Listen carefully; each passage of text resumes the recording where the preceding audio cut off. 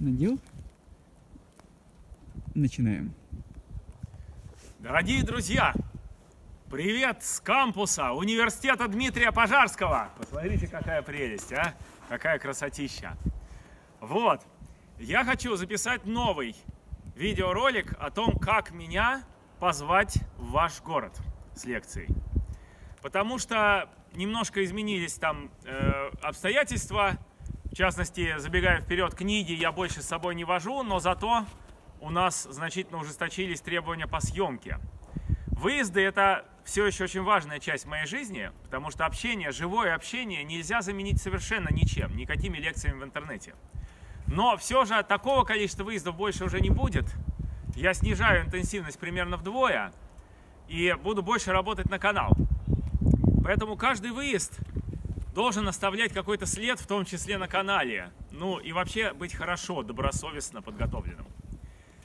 Требований много, и если вы не можете соблюсти там значительную долю из них, то, наверное, ну, не надо звать, да, потому что они как бы, э, их может, может соблюсти любой человек, если захочет, да, то есть если вы готовы их соблюсти, вы их сможете соблюсти.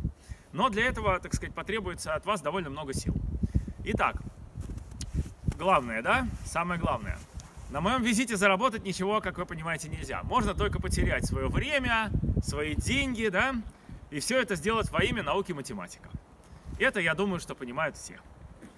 Вот, значит, следующий пункт нужно написать мне на почту, ту самую Хибин Mail.ru, на которую я принимаю теперь и отвечаю только на письма, ну, как бы вот связанные непосредственно с моей деятельностью. То есть письма абстрактные я просто стираю, но когда будет написано «приглашаю Саватеева в город» в теме, тогда, конечно, я его открою и посмотрю. Дальше нужно будет найти дату, это делаю я. Обычно от первого письма до реального выезда к вам в город проходит от 6 до 12 месяцев. В среднем типа 9 месяцев. Вот срок такой вот инкубации, да, вы, выезда. Вот, теперь, значит, что потребуется от вас? Потребуется купить билеты туда-обратно, а, либо, если у меня длинное путешествие по нескольким городам, то один или два сегмента этого путешествия, связанных с вашим городом. А, там есть тоже некие ограничения, я не могу летать ночью. Но об этом мы уже в, э, в процессе переписки там все это уточним. Надо сделать плакаты, в которой будет там фотография. Берите просто из Инстаграма. Там, э, Алексей Владимирович, пришлите мне фотографию. Такого не надо говорить, потому что у меня все равно их нигде там на компьютере нет, их не найти нигде. В, в интернете их предостаточно. Вот. Плакат, на плакате там место проведения, название лекции, адрес, аннотация, уровень аудитории, там номер аудитории, уровень э, слушателей, которые значит, мы с вами обговорим, необходимость регистрации либо свободный вход – в общем, вся необходимая информация должна быть на плакатах, но вы их развешиваете, соответственно, везде, где, э, где считаете нужным в вашем городе. И главное, что он в интернете теперь есть, этот плакат, и мы тоже можем распространять по своим каналам, если эта лекция открытая для всех желающих. Об этом чуть позже. Значит, третье, обязательное условие. Мы очень просим, просто требуем, да, со всех, кто меня приглашает. Запись со штатива в высоком разрешении при достаточном освещении – звук с петлички или с профессионально направленного микрофона. На видео все должно быть отчетливо видно. И это еще не все. К сожалению, несколько выводов, к сожалению, несколько выездов э, закончились тем, что меня записали, а видео так и не обработали и просто так и не прислали. Вот, да, Алексей Владимирович, мы просили вас записать, и мы вас записали. Но, к сожалению, видео вы не получите. Ну вот, мы не имеем времени его добить. Я очень сильно обижаюсь на это, потому что мы все-таки работаем на канал, понимаете? В городе на, меня увидит там 100 человек на лекции, а на канале меня увидит 20 тысяч, 30 тысяч, сколько захочет.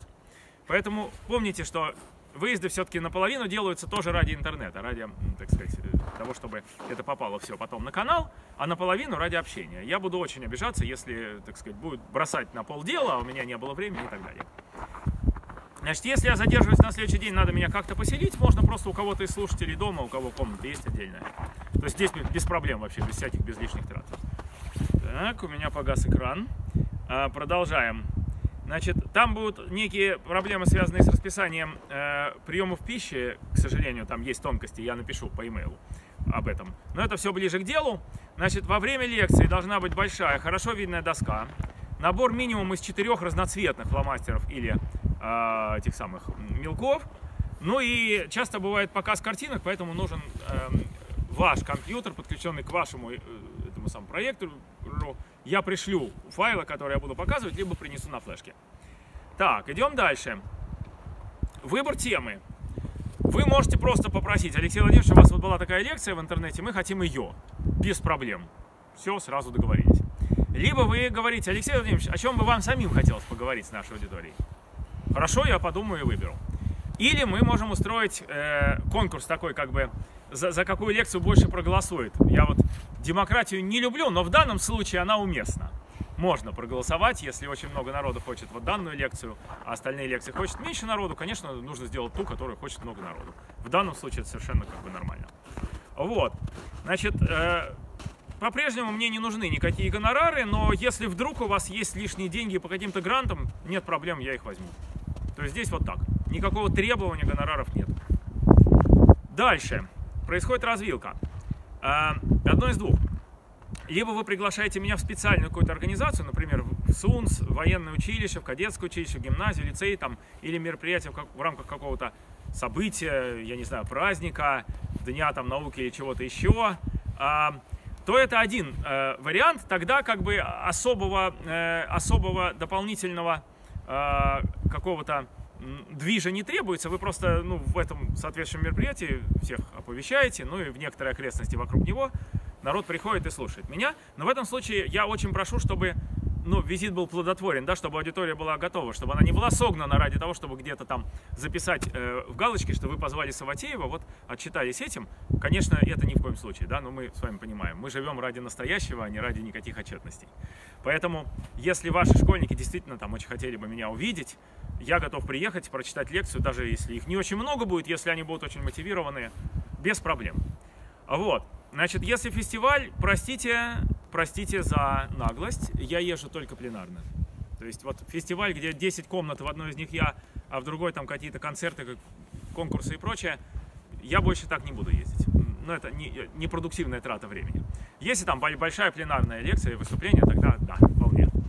Вот. Ну еще фестиваль, с фестивалями есть проблема, что бывает так, что вот здесь лекция, а за стеной играет какая-то дискотня, вот эта вот тупая, блин, там танцуют. Ну, ну, ну, ну это вообще никуда, да, не годится. Вот несколько раз так было уже. Или, например, меня зовут с лекции в бар. И что вы думаете делают в баре? Блин, представляете, в баре бухают. Вот так. Сидят, бухают и хохочут. И вообще не замечают, что здесь лекция идет.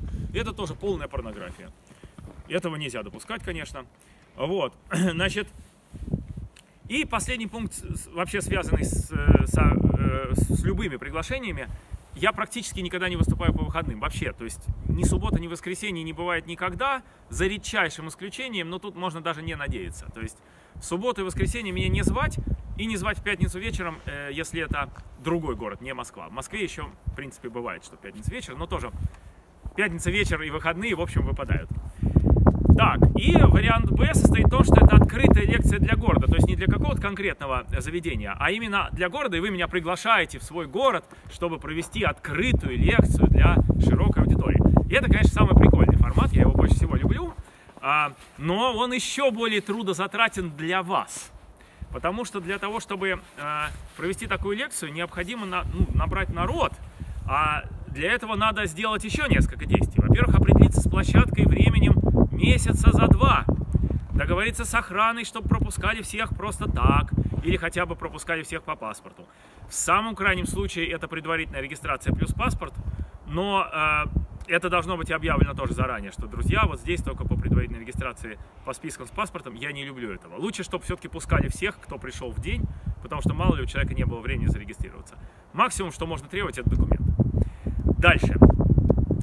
Обязательно создать события ВКонтакте и в других соцсетях. И нужно, если это открытая лекция моя, нужно, чтобы было там собрано не менее 150 человек. Только тогда мы можем надеяться, что придет 70-100. А, вот, можно в нескольких соцсетях раз, разгонять все соцсети. Ну, проще всего разгонять контакт, но там как вам виднее. Очень прошу при этом не пропадать со связи. Если мы решили организовать лекцию там, через три месяца в каком-то городе, да, и мы начинаем движуху, и вдруг я не получаю ответа на имейл раз, два, я понимаю, что вы на самом деле ею не занимаетесь. Ну, вы занимаетесь своими делами, вы договорились о лекции в своем городе, да? Такое тоже, к сожалению, много раз было. Вот, ну и вот э, приходит время, я прихожу, а полупустой зал. Ну, потому что вот вы не занимались организацией лекции, вот полупустой зал. То есть, понимаете, да, я э, прошу потратить все время, которое у вас есть. Вот три месяца выкидывайте в помойку, если вы меня зовете в ваш город. Но вам это запишется, понимаете, на небесах будет записано. Организовали для своего города шикарную математическую лекцию. Ну, я надеюсь, что она будет шикарной. Вот об этом я уже буду стараться позаботиться. Вот, так что, значит, вот это будет ваша жертва, жертва, большая жертва вашему родному городу. Ну и самое-самое-самое-самое главное, никогда, ни при каких условиях не закрывать регистрацию. Сколько раз было, всегда было ужасно. Идет зал на 200 человек, записалось 300. Как вы думаете, почему записалось 300? Да потому что каждый человек смотрит, о, круто, о, приезжает, о, математика, о, я щелкну, какая разница, пойду я или нет. Я просто возьму и зарегистрируюсь. Из тех, кто зарегистрировался, приходит от 1 трети до половины. Если вы закрываете регистрацию, это, во-первых, всех, кто уже зарегистрировался, демотивирует, типа, о, там полный зал, я лучше не пойду. А во-вторых, все остальные не пойдут. Во всех случаях это кончалось достаточно плохо. Значит, никогда вообще не закрывайте регистрацию. Если вдруг очень-очень много народу, либо отлично у нас будет полный аншлаг, либо, если совсем все плохо, в три раза больше там, э, чем есть, ну тогда давайте ищите другую аудиторию, будем на совсем огромный зал вещать. То есть, как бы самое главное, что если уж начали, все, взялся за куш, не говори, что не дюш, не закрывай регистрацию. Вот так. Ну и как бы последнее это, что э, я могу подписать всем книги, которые они купят в вашем э, городе. То есть э, за благовременно мы объявим, что покупайте книгу «Математика для гуманитариев», я всем ее подпишу на лекции. Сам возить не буду, но подпишу всем, кто ее купит. А если она пропадет в магазинах, сразу, сразу пишите мне, и я буду трясти издательство университета Пожарского, чтобы оно эти книги в ваш город выслало.